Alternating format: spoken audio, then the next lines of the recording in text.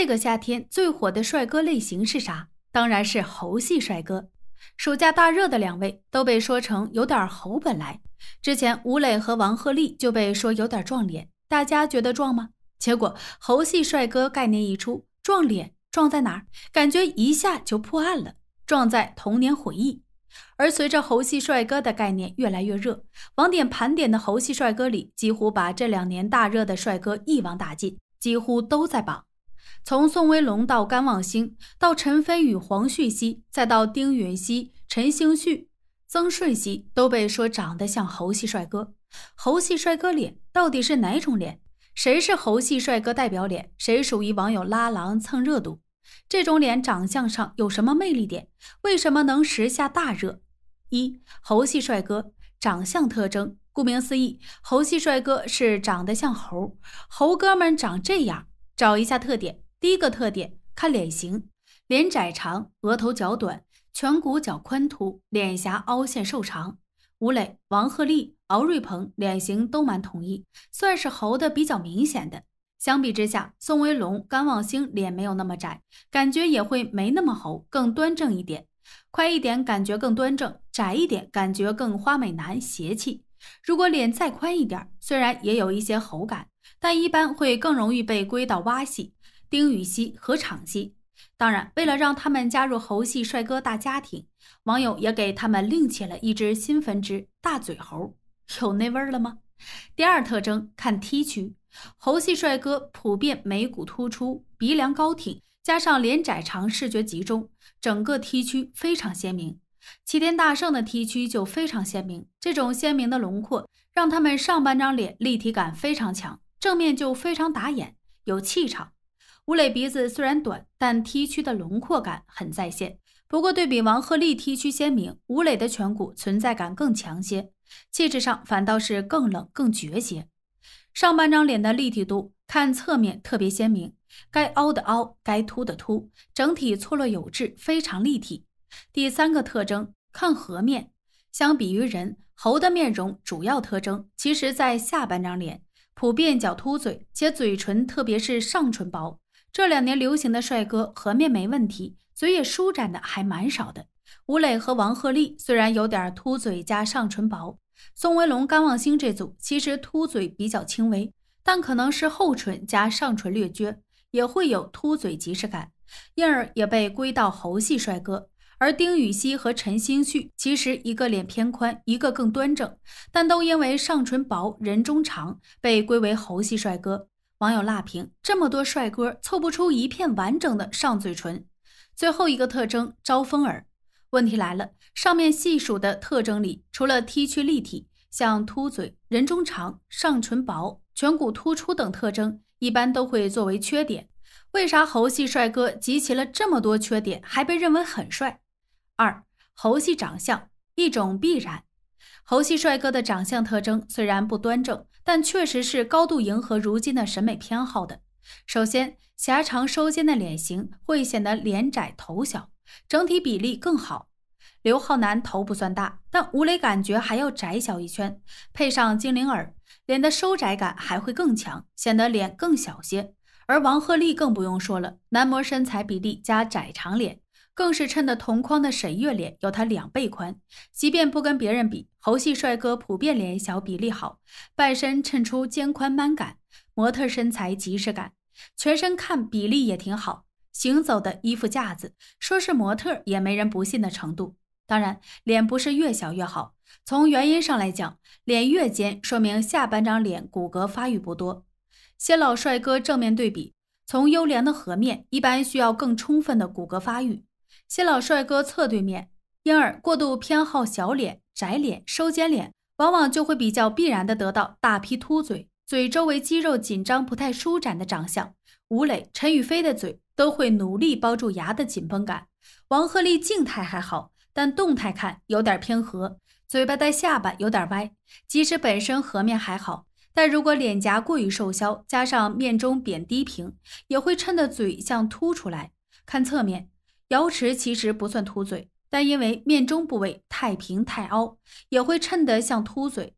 当足够多的美人都有某个 bug 之后，观众的审美其实会变得更兼容这项 bug，甚至能欣赏它。毕竟能直观的感受到有这个 bug 也能好看，也逐渐看惯了。比如有人表示，一开始看吴磊下半张脸很难受，现在觉得好多了。而这种紧绷的嘴唇，一定程度上又能给本人气质一种紧张感和禁欲感。如果能结合角色合理化，反而会变成一种特色。猴系帅哥的优点主要在他们急于立体的上半张脸。虽然吴磊纯侧面有点虐，但用胡子修饰下半张脸后，凸显上半张脸立体轮廓，一下戳到我。立体的眉骨和鼻梁。搭配深陷的眼窝，最后再由颧骨区分一下正侧面，随便打点光就是很立体的效果。吴磊健身房这张自拍立体感很强，虽说颧骨凸常被作为缺点，但其实对于显骨感和立体感来说，有突出感的颧骨一定程度上是必备的。王一博这种二 D 美人，相比之下也要明显柔和，整体感觉平很多，气质的冷是温润的冷。没有立体 T 区带来的强势力量感，这种恰到好处凸显的颧骨，不仅让猴系帅哥拍硬照气场有保证，而且也让他能够扛住如今高糊的滤镜。即使柔光加滤镜，线条也是鲜明的；即使脸型略挑角度，鲜明的 T 区也让他们各种角度都有亮点。略微低头。T 区立体，略微偏头，T 区依然明显。侧面更不用说，吴磊虽然鼻子有点短，但随便打光凸显上半张脸就好看。而王鹤棣这次不少名片段干脆都是侧面，她凸嘴很轻佻，侧面还蛮杀的。半侧面每个角度 T 区都好明显。从气质上来说，轮廓鲜明立体的 T 区会让整体长相攻气更足，跟紧绷偏薄的下半张脸反而构成了合力。整个就是大气场，不仅如此，搭配挑浓眉和招风耳，整体还有一种反传统的痞帅感、邪魅感，不端正也有好处，自带邪气。下一个问题是，同样长得像猴，为啥张一山没有吴磊、王鹤棣这种猴系帅哥的骨劲儿？三猴系帅哥人设魅力，脸不仅是硬件，更在于硬件带来的软件。如果只看硬件，那脑袋里就只会有标准。只想砍掉不标准的地方，没给欣赏品味留余地。但其实就像前面分析的，所有不标准的硬件其实也会带来某种感觉或特色。只要展现的好，完全可以缺点变特点。猴系帅哥这类脸之所以走红，光是从硬件元素看，最多看懂一半。老帅哥也有 T 区立体还没 bug 的，为啥不火呢？但如果从感觉魅力来看，答案其实也蛮明显。猴系脸给人怎样的感觉呢？首先是霸气，桀骜不驯，不主流，反抗感和力量感都挺强，都给人比较痞的感觉。